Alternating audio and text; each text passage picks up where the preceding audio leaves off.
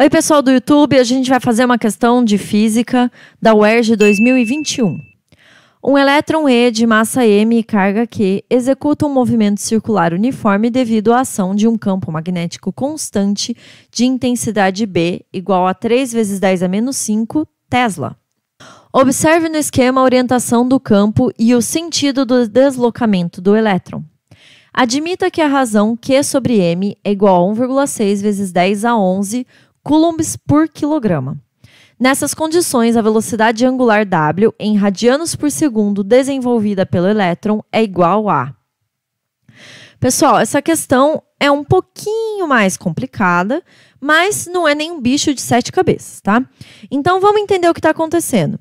Nós temos aqui um elétron e ele está caminhando nessa circunferência, beleza? Nós temos aqui um campo magnético apontando para fora do papel e nós temos uma velocidade aqui e indicada pela setinha azul, tá bom? Se a gente usar a regra da mão direita, então nós vamos pegar a nossa mão direita, o nosso dedão é a força magnética agindo sobre a carga. O nosso indicador é o campo magnético, a direção do campo magnético. E o nosso dedo médio é a direção da velocidade, tá? Então, se nós alinharmos o nosso indicador com a direção do campo magnético para fora do papel e o nosso dedo médio com a direção da velocidade apontando para cima, nós vamos ter aqui uma força magnética apontando para o centro da trajetória. Olha só, velocidade angular, movimento circular uniforme, força apontando para o centro da trajetória. Isso está pedindo força centrípeta, né? Então, o que, que a gente vai fazer? A gente vai igualar a força centrípeta com a força magnética. Como que é força centrípeta?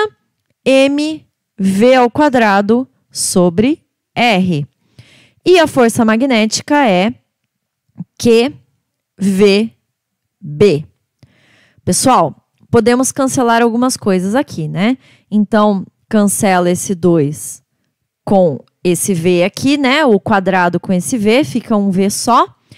E como a gente quer velocidade, a gente quer velocidade angular, mas a gente vai chegar lá, tá? Então, vamos isolar a velocidade escalar aqui, né? Então, fica V igual a Q sobre M vezes R vezes B. Olha só, Q sobre M ele deu para gente esse valor aqui. B ele deu para gente esse valor aqui. E o R? O R a gente não tem o valor e não tem como descobrir, tá bom? Mas também não precisamos descobrir. Por quê? Porque V é igual a ômega vezes R. O que, que é esse R? É o raio do círculo que é o mesmo R que está aqui, tá bom? Então, o que, que a gente vai fazer? A gente vai trocar esse V aqui pelo ômega R. Então, Q sobre M vezes R vezes B é igual a ômega vezes R. Podemos cancelar o R com o R e nós vamos ter aqui no final ômega igual a Q sobre M vezes B. Agora é fácil resolver, né?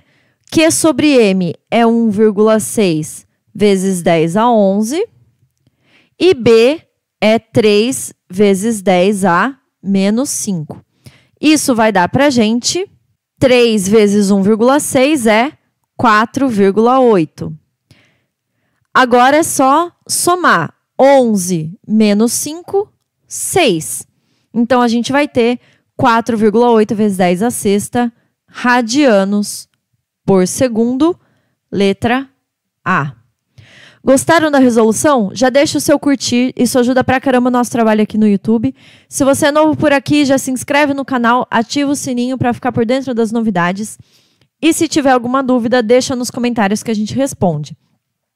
Não se esqueçam também de conferir as outras resoluções dessa prova aqui no nosso canal, Resoluções de Matemática e Física. Bons estudos e até a próxima!